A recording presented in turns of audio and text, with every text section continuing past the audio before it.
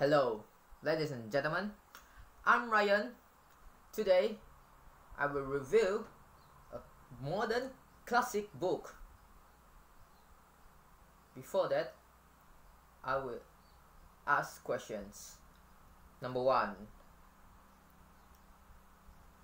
Do you think you have to behave and think like an adult or like a kid? Second, do you need to fit with everyone? Number three, do you do you think you have to agree on what everyone's agree and everyone's love? And lastly, number four, do you appreciate of your own existence in this world? To find out, let's summon the book. If you are suspicious with how do how the that book looks like, here it is. The Catcher in the Rye, the title, the name of this book, and wrote by J.D. Salinger. Here you are.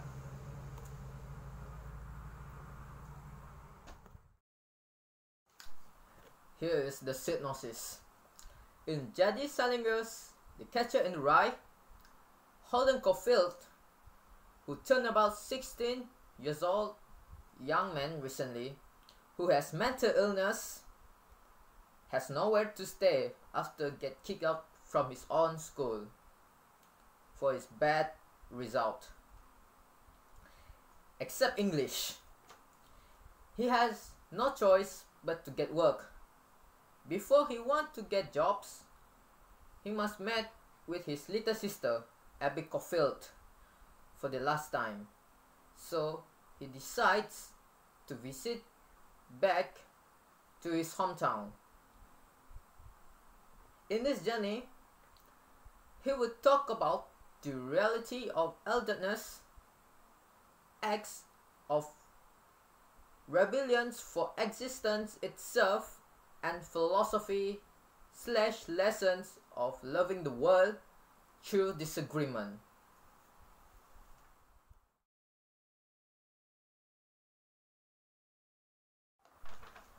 I will recommend this book for those who are seeking the valuations of existence in this world, thoughts of adulthood when you will grow up and what is on the mind of depressive person just like Holden Caulfield. This book is one of the best classic, classical literature you will ever find. You have to read it once of your life. Catcher in the Rye is a postmodern literature, so there are no prota and ento this book is about thoughts of a young man on his journey to go back to his hometown and meet with his little sister. You might disagree on what Holden's unusual statement such as he really hates movies. But that's how Holden makes himself great. He is not afraid to speak from his mind on behalf of himself. In the beginning, Holden was pessimistic, thinking that he has no hope onto this world. He also dealt with his existential crisis. In quote, do I worth living in this world End quote. That was his earlier thought after he had been thrown out from school. He had also PTSD, which simply stands for depression and anxiety, which leads him to get stomach ache. Suddenly, his scenes change slowly. In a chapter, a moment when a prosecutor enters to his room, Holden feels want to have conversation on free will instead of having a sex. Sorry.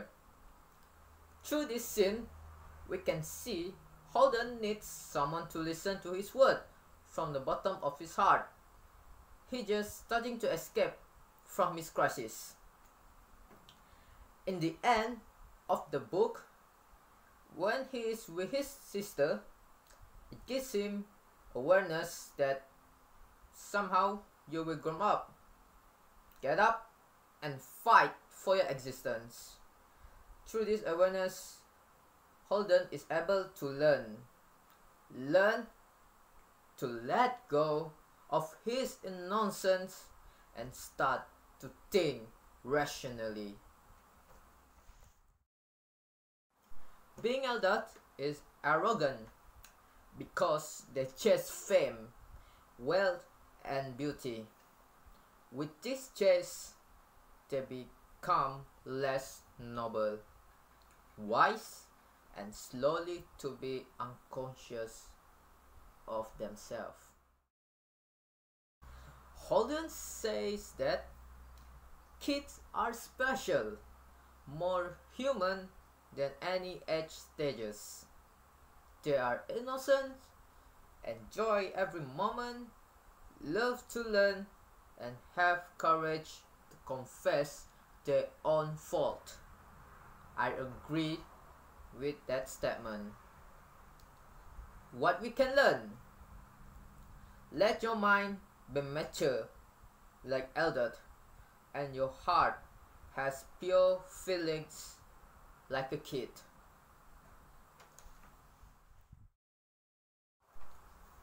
Eldadhood gives him existential crisis.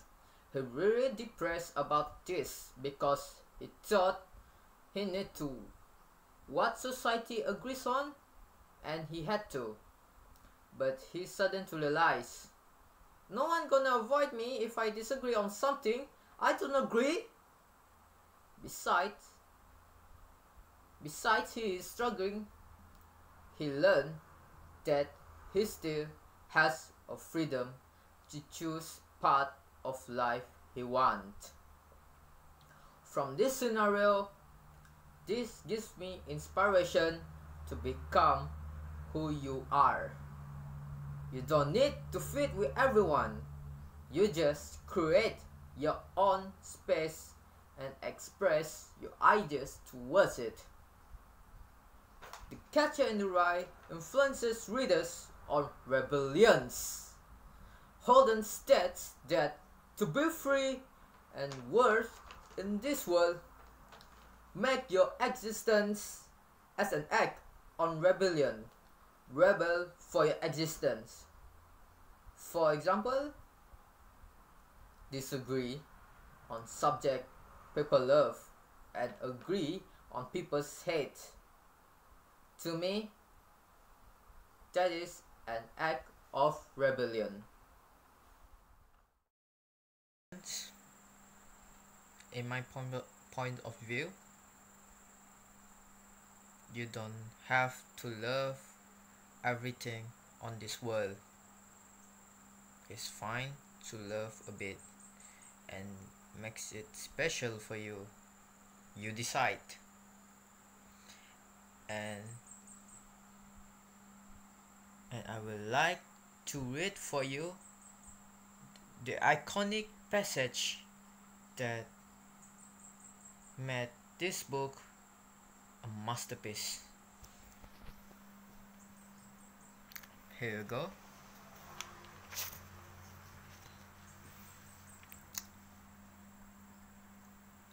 Anyway, I keep picturing all these little kids playing some game in this big field of rye and all.